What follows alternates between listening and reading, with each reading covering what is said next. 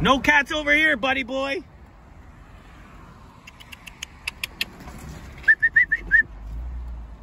Hoo